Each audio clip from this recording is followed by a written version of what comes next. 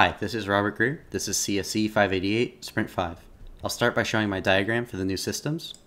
So the user interacts with the Game Sound Manager. They can load new wave assets, which will create a load command. The load command has a load type for async or blocking. It gets sent over to the audio thread, and it checks if it's async or blocking. Either way, it creates a fulfillment command, which is going to fulfill the load request. Um, if it's async, that gets sent over to the file thread. If it's blocking, it executes right here. What that command does is it sets the table to be pending, then it does the file slow loading to simulate the slow load. Then it will set the table to be ready and create a response that gets sent all the way back to the game. The same thing happens in blocking, um, except it's right here in the audio thread and blocks execution. Once this uh, response gets sent back, it tells the manager that it, it's finished the manager will loop over a set of observers and notify each of them. That way the user can insert behavior when that happens. Lastly, the user can unload assets with the unload command, get sent over to the audio thread. It just sets the table to entry and then deletes the audio asset. So here in the code is uh, my demo. The demo starts by loading the assets as normal, except now I have a load type for blocking or async, and Beethoven is async. I'm immediately able to play the first two because they were blocking loads. And then um, every five seconds, I'm going to play the alert again and print out the table. And I add an observer for Beethoven once it's loaded, and the Beethoven observer will just start Beethoven.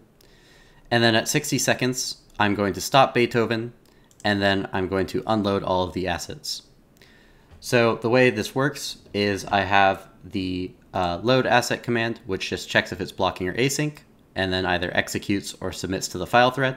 The file thread is just a new thread that spins on commands. The thread that the command that gets submitted there is the fulfillment command that sets to pending, does the slow loading, then sets to ready, and then responds with the response back to the game.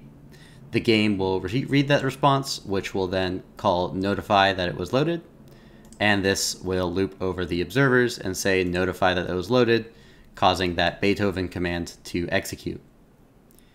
Um, lastly, you have the unload command, which will just unload the asset, and um, that will set it to be empty in the wavetable. So let me run the demo.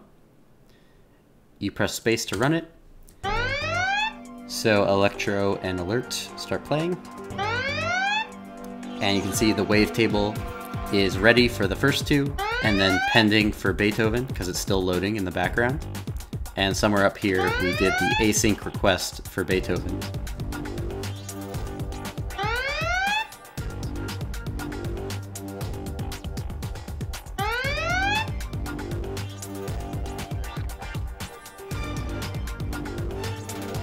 So now Beethoven was ready, and it finished loading Beethoven, so it immediately called back to the main thread, and started Beethoven.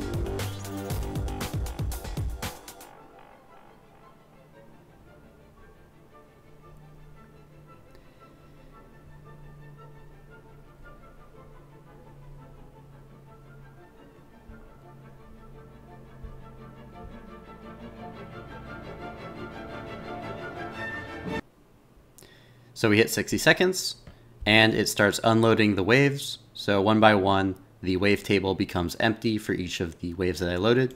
I can then quit with Q and escape. And that's the end of the demo. Thank you.